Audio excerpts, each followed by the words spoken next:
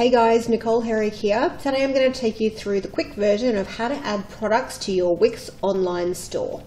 Now, if you don't already have the online store applied to your Wix template, you can go to the app market and choose the Wix store. Um, but if you've already got it there, um, you can go to My Store and then choose Add Products, or you can actually click on any of these store elements. So, say if I'm on necklaces page, I can click on the store element and go manage products. Okay, so this brings me into the back end. Now, most of the online store templates have some example products in there. I'm just going to add one from scratch. So I'm going to go new product. This tutorial is for adding physical products, but I will do a tutorial on how to add digital files, and I'll pop a link in the description to watch that uh, tutorial. So let's add a physical product. Um, now, I've created a little spreadsheet um, to make it a little bit easier for myself to enter all the details for all of the products. And it also helps me to sort of write all the descriptions individually, um, set all the prices, weigh everything at the same time, figure out my inventory of everything, um, any options and colors and sizes. Putting it all in a Excel spreadsheet like this keeps everything together for you so that you can just do it all together and all the information is saved somewhere. All right, so I'm just going to grab the product name and I'm going to pop it in here. You can also pop the, pop the product name in down here if you prefer.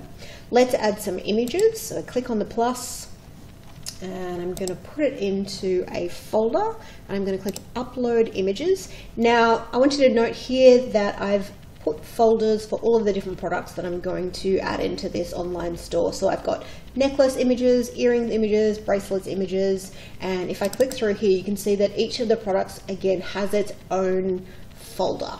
So it's really important, I think, to keep everything nice and together. Um, this one doesn't have a folder for some reason. But here's one thing I want you to note these product images here do not have any keywords on them and that's a really big no-no. So you can see that here I've named this one with the product name, personalized, bangle, gold, rose, oops, silver, rose gold. So this is a good example of how to actually name your products. Try and put as many key phrases in there as you can. This is a bad example. Anyway, I'm just to pop all those in there.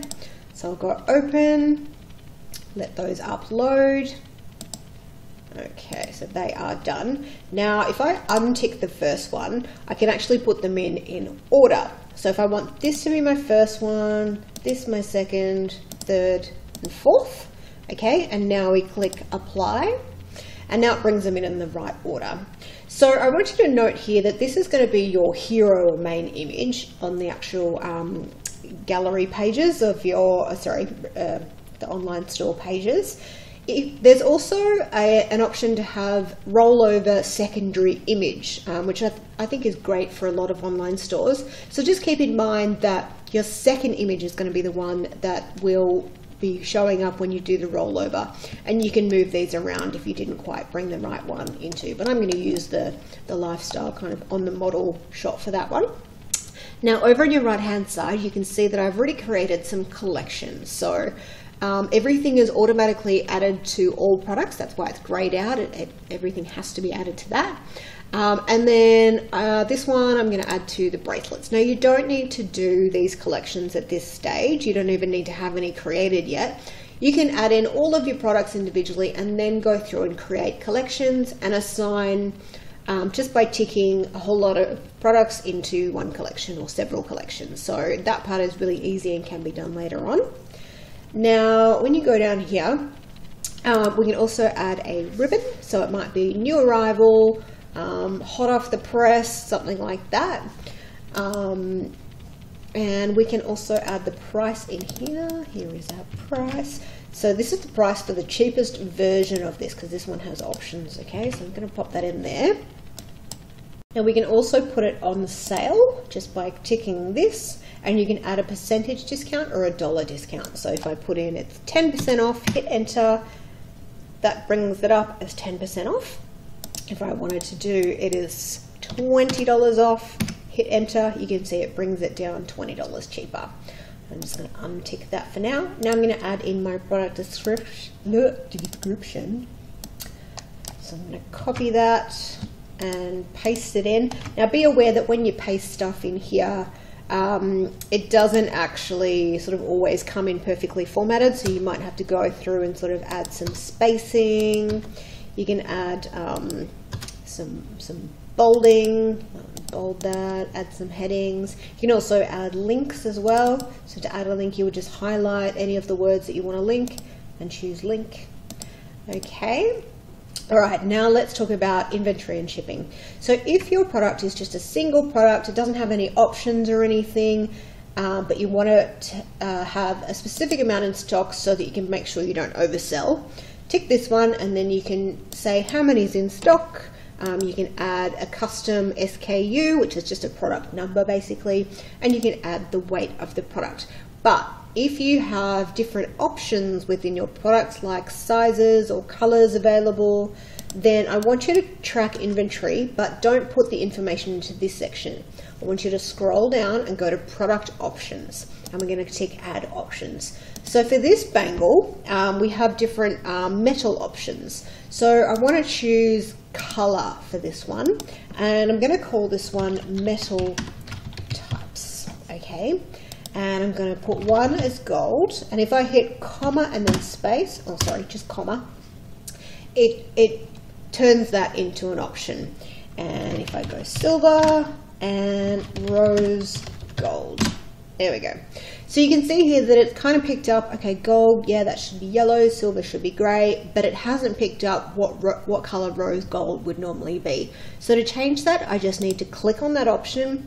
You can either select one from here or pick a colour anywhere on the spectrum and click done. Okay, I also have two different sizes of this bangle, so I'm going to add another option and I'm going to choose the list input type. So I'm going to pop in here sizes and I'm going to make the first one a 12 centimeter bracelet and then an 18 centimeter bracelet. Okay, and then you can add another one if you'd like to. So now down here is where we add um, the different prices and inventory for these different variations. So you can see here that it's already calculated all the options that I've put in and the prices. Now if say the bigger bangles are a little bit more expensive, you can add a surcharge on top. So these might be $20 more expensive. So we add that in and you can see that that shows up as 119.95 now. Okay, so you can add individual SKUs, individual inventories. Let's just pop some of those in there. And I'm going to leave some out of stock over here. Now with the weight, the weight is really important if you want to add ship by weight in your shipping section of your store. So say for example, you want to um, have different postage satchels at your place of business that you're going to post everything in. So if um, all of the products add up to say uh, 600 grams and you want to pop them into an under one kilo bag, then it will automatic and you can pop in, you know, the under one kilo bag costs $7 shipping. Then the when they actually put all those products in their cart, the store shipping calculator will work it all out for you and it will automatically tell them, okay, that's $7 for shipping, thanks. So that's why it's really important to actually put in your um, your weights in here. Oops. There we go. 22. Okay, so also in here, you can turn off the visibility as well. So say if something was out of stock, never coming back into stock, you could set it as hidden. But if you don't have it in stock, but you still want people to see that it used to be available or will be available again, you can leave it as visible, but have zero. Okay, so let's just scroll back up because um, there is a section that we didn't look through. Okay, so custom text. So this is if you have any personalized products. So let's click on add to um, add the custom text field. So with these bangles, um, they can be stamped with some words. So we're going to say what would you like engraved on the inside of the bangle? So that's just a little bit of helpful text so that they know what they're supposed to be typing in here.